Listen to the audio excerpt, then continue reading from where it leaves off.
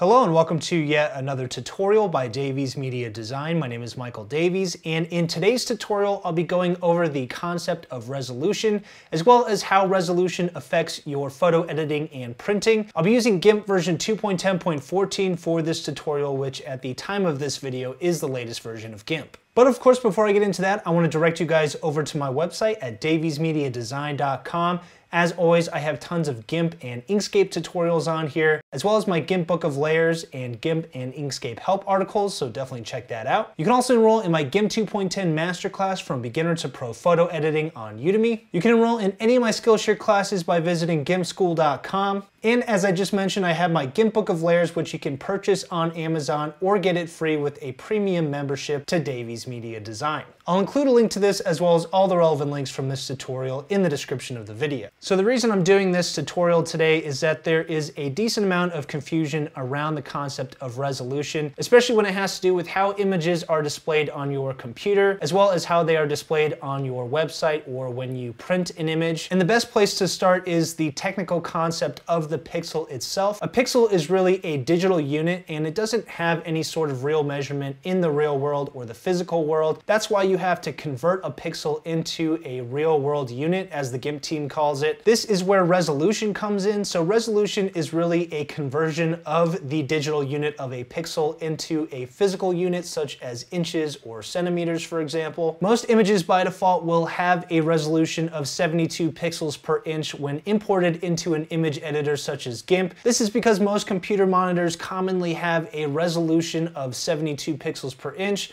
or in other words, 72 pixels are going to be crammed into a one by one inch square. I'll further define this concept in a little bit, so if you don't quite get it yet, don't worry. So modern cameras typically contain multiple megapixels, and a megapixel is going to be 1 million pixels. For example, a Canon 5D Mark IV is going to contain 30.4 megapixels, or in other words, in a single image, it's going to have 30,400,000 pixels. By comparison, the Canon 7D, which is the camera that I use for pretty much all my photos, is going to contain 18 megapixels, or in other words, it's going to have about 18 million pixels per image. Finally, a different camera from another manufacturer, the Sony a7R II, is going to contain 42.4 megapixels in a single image, or in other words, we'll have 42,400,000 pixels in a single image. If you're wondering why the Sony a7R II and the Canon 5D Mark IV contain more megapixels than something like the Canon 7D, the main reason is that the 7D uses a crop sensor, whereas the Canon 5D Mark IV and the a7R II both are full frame cameras. So this allows them to basically include more pixels in a single area for a single image. Cameras that capture images with a higher number of megapixels are going to produce larger images when it comes to printing because there are more pixels that can be spread out across a potential print area. All right, now I'm going to demonstrate how this megapixel concept translates into your actual image sizes here. So as I mentioned, I take photos with a Canon 7D which produces images that are 18 megapixels in size. The image size is based on the fact that the width of my image is 5,184 pixels wide and the height of my image is 3,450 pixels high. So the actual size of my image or the total area of my image is going to be this number, the width times the height. So when I multiply the width and the height of this image, I'm going to get an area of about 18 million pixels, and that's where our 18 megapixel figure comes from. GIMP will always display the dimensions of your image up top here. And if I want to see the resolution of this image, I can go to Image, Scale Image. And here you'll see the width and height of my image displayed as pixels, and the X and Y resolution here displayed as pixels per inch. I can change the resolution here based on different units, so I can have pixels per millimeters, pixels per point, pixels per centimeter, and so on. So a lot of the confusion with resolution has to do with what's the difference between resolution in the digital world and resolution in the physical world. To clear things up, I'll tell you guys this. Resolution doesn't really have anything to do with the digital world. You can pretty much throw out the concept of resolution when you're only working digitally. Resolution is really only coming into play whenever you are printing something. And this is actually counter to what I've said many times before in previous tutorials. I've always mentioned that when you're exporting an image, you want to export it to 72 pixels per inch whenever you are using it on a website or anywhere on the web, versus when you're printing something, you're going to export it to 300 pixels per inch. So to clear some of this up, I want to demonstrate a few things inside of GIMP here. So let me start by closing this out. So right now our image is fully displayed inside of our GIMP window here because it's zoomed out. So right now my zoom is set to 18.2%. I can change the zoom of the image by clicking on here and just coming up to 100%. So this is what my image looks like fully zoomed in. And because there are much more pixels in this image than there are pixels displayed in my monitor, the image actually extends well beyond the boundaries of both the GIMP window and hypothetically my monitor window here. So let me come back down here and just change this back to 18.2%. So remember, this image currently has a default resolution of 72 pixels per inch. What's gonna happen if I increase the resolution here to something like 300 pixels per inch? Well, I'll come over here and go to Image, Scale Image, and I'll come down here and change my X resolution to 300. And because I have this little chain icon locked here, when I hit the tab key, my Y resolution will automatically change to that same resolution. And now I'll come over here and hit scale. And as you can see, absolutely nothing has changed about this image. And so up top here, the dimensions are the same. We have 5,184 pixels wide by 3,456 pixels high and I'm still zoomed in at 18.2% and I can zoom in to 100% and the image still looks exactly the same. The reason for this is that your computer monitor is going to treat pixels as the same exact size no matter what resolution you have your image set to because pixels are a digital unit and resolution is the conversion of that digital unit into a physical unit. So the real difference that's occurring when you change the resolution is how large this image is going to be when you print it.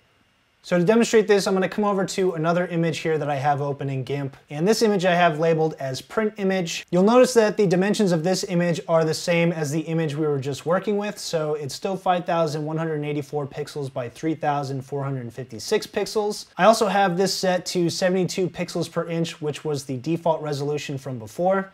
So if I come up here and go to image, scale image, once again, you'll see that the image size in terms of width and height in pixels are the same, and the X and Y resolution are the same. But here's the main difference. I can preview the print size of this image. So if I physically print this image into the real world or the physical world, we can see what size this image will actually be on something like a piece of paper. So I'll hit cancel here, and if I come over to image, print size, you'll see the width and height of my image will be 72 inches wide by 48 inches high and that's based on the resolution of 72 pixels per inch. And I'll exit out of this so you can see I have those dimensions marked off here. So this is how big my image will be if I print it at the current resolution it's at and the current size it's at. However, if I change the resolution of this, so if I come over to image, scale image, and I change this to a resolution of 300 pixels per inch and hit the tab key and hit scale, Nothing happens to the digital or the pixel version of my image. However, if I come over here to image, print size, you'll see the print size has now changed. So the physical size of this image in the real world will be 17.28 inches by 11.52 inches. So an increase in the resolution has decreased the physical size of this image. And let me exit out of the print size dialog here. So I'll come over and I'll hide these dimensions here and I'm going to show dimensions I created earlier that display how large my print image will be based on a 300 pixel per inch resolution. So here you can see our dimensions are a little bit smaller now and our resolution has increased. So let's think about why the physical size of our image has decreased What's happening when we increase our resolution is we're increasing the number of pixels that are going to be crammed into one inch.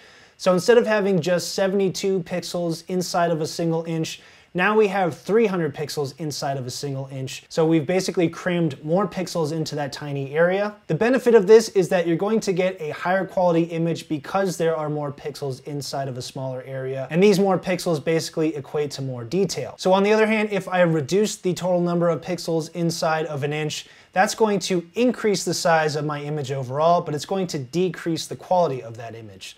So let me just demonstrate that here. I'll come over to Image, Scale Image, and now let's change the resolution to a really low resolution, so something like 10 pixels per inch, and I'll hit Scale. Nothing has changed about the digital form of my image, but if I go now to Image, Print Size, you'll see my image is now really large. But the trade-off here is that with this larger image, it's going to produce a lower quality final result. Earlier in the tutorial, I mentioned that whenever you change the resolution, contrary to what I previously believed, it's actually not going to have any effect on uploading the image to something like a website. And I just want to demonstrate why that is. So if I come over to my file explorer here, You'll see I have three different images saved to this file. So what I did is I changed the resolution of each image so that it has its own resolution. So I have 10 pixels per inch, 72 pixels per inch, and 300 pixels per inch. The first thing I want to point out about these three different images is that despite them each having different resolutions, the file size is exactly the same over here. So the 10 pixel per inch image is the exact same size as the 300 pixel per inch image. The other thing I want to point out is that if I double click on this first image, and these images have the dimensions that I set up here, you'll see that the 10 pixel per inch image looks exactly the same as the 72 pixel per inch image, and that one looks exactly the same as the 300 pixel per inch image. So in the digital world, changing the pixels per inch has zero effect on how the image is displayed here. That of course begs the question, how do I decrease my file size so that I can save room on my website and also speed up its performance? And the answer to that is that you have to change the actual number of pixels in the image. And of course there is an easy way to do that inside of GIMP and that is by scaling the image. So I'm going to exit out of this image here and minimize my file explorer. So we're back in GIMP and let me navigate back over here to our digital image and I'm going to change the zoom back to 18.2% so adjusting the resolution does not change the size, but if I go to Image, Scale Image, I can come over here and change the width and height. So I can change the actual number of pixels by typing in something like 1920, and our chain link icon is locked over here. So if I hit the tab key, that will automatically update the height. So now we have 1920 by 1280, and when I hit the scale button, it's going to scale the image down to this new width and height, and I actually have a new image open over here with these new dimensions. So we've scaled this image down now, and as a result, we have less pixels in our image, so instead of having 18 megapixels, it's now just two and a half megapixels. Or in other words, in order to reduce the file size from its original size down to 1920 by 1280, we've removed 15 and a half million pixels from our image. This of course will save you room whenever you are uploading an image to something like a website, but keep in mind of course that whenever you remove that many pixels, you will inevitably be reducing the overall quality of the image. And actually the same applies when you scale an image up. So instead of removing pixels from the image when you scale an image up, you are adding in pixels that don't actually exist. And so that's the value that GIMP provides as an image editor is that it uses some tools and features to basically invent pixels and add in missing pixels whenever you're trying to scale an image up. But a byproduct of that is that you will have a quality loss in your image. I also want to point out here that the letters on top demonstrate how much smaller this image is because these are the same size letters or the same size font as I used over here. So I did not change the size of the text text that says digital image. These are both the same size text, but as you can see, the image is now much smaller compared to that text than it was in our original. Coming back over here to the smaller digital image, the last concept I want to cover here is that because we reduce the number of pixels in this image by scaling it down, if I did try to print this image using the same resolutions we used earlier, so either 72 pixels per inch or 300 pixels per inch, the image will be smaller overall because we've removed so many pixels from this image. Remember, we removed 15 and a half million pixels, and therefore that's 15 and a half million pixels less that there are to fill in something like an inch on a photograph. So if I come over here and go to image, print size, we can see now that the width and height of this, instead of being around 17 inches, is going to be 6.4 inches. and that's at a resolution of 300. If I change this to 72 pixels per inch and hit the tab key, you can see the largest this image will be now is 26 inches wide instead of the over 70 inches wide that it was before. So I'll exit out of this. So there's actually one more concept I want to cover and that's removing pixels from a single dimension of your image. So by scaling the image, I showed you how to remove pixels from both the width and the height. What if you just wanted to remove pixels from, for example, the height? So right now this is 1920 by 1280. The dimensions of a high definition image are typically 1920 by 1080, which means we have to remove some of the pixels from the width. Well, I can do that by coming over here and grabbing something like the crop tool. And I can come down here and check the fixed aspect ratio option and type in 1920 colon 1080. And let me just hide the numbers here from my dimensions that I drew. So now using this crop tool, I can just crop the width of my image. So whenever you change just a single dimension of your image, that's called changing the aspect ratio. So right now I'm changing my aspect ratio to 1920 by 1080 since I'm shortening the height now when I double click on this, we've removed pixels just from one dimension, which is our height, and our final image is 1920 by 1080 pixels. So remember our original image we were working with was 18 megapixels. Now after scaling and cropping our image, if I grab a calculator here and I type in 1920 times 1080, hit the enter key, our final image is going to be just above 2 megapixels or just above 2 million pixels. Now if I come over and go to File, Export As, and let me just navigate over to the folder where our other images are. We'll just grab one of these names and change this to 1920 and come over here and hit export. And I'll make sure the quality is turned all the way up like the other ones and hit export again. Now if I come over here to our file explorer you'll see our image size, our file size overall is much smaller now, so it's just below 2 megabytes here or 2,000 kilobytes, whereas all the other images here with varying resolutions all had about 13 and a half megabytes or 13,500 kilobytes.